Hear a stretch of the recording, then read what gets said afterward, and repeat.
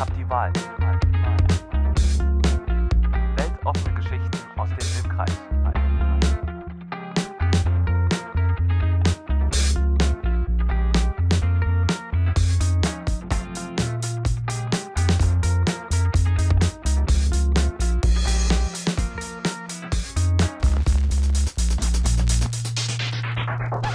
Seit 2007 werden in Arnstadt Stolpersteine verlegt. Sie sollen das Andenken an ehemalige jüdische Mitbürger aus den weit entfernten Gedenkstätten heraus in den lokalen Alltag zurückholen. Jörg Kaps recherchiert seit jeher zur jüdischen Geschichte in Arnstadt und hat mittlerweile weltweite Kontakte. Er möchte den Zahlen Namen geben.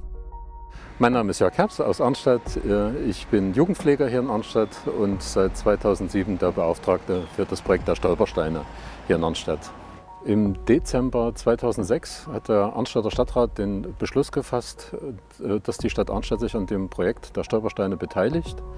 Äh, zu dem damaligen Zeitpunkt war ich Mitglied in der Arbeitsgruppe Demokratie braucht Zivilcourage und habe mich in dieser Runde bereit erklärt, das zu übernehmen. Und nun seit 2007 bis heute dauert das fort, das Projekt, und wird, denke ich, die nächsten Jahre auch noch brauchen. Irgendwie bewegte mich das schon immer, also zum einen diese, diese Geschichte, äh, aber ich muss auch gestehen, dass mir zu diesem Zeitpunkt nicht klar war, wo mich der Weg also hinführen wird. Also was ich äh, alles in dieser Zeit jetzt erlebt habe, äh, Menschen, denen ich begegnet bin, ist sehr, für mich sehr, sehr prägend und bringt sehr, sehr viel.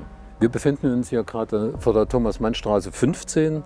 Hier liegen die Stolpersteine für die Familie Ehrlich.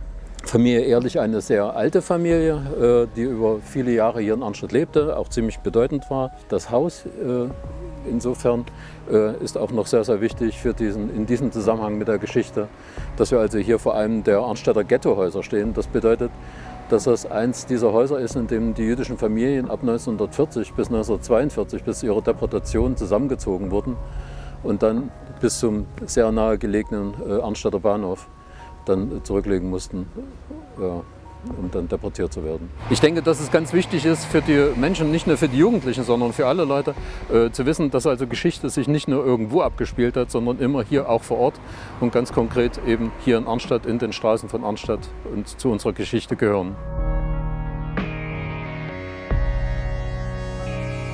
Ich hab die Wahl.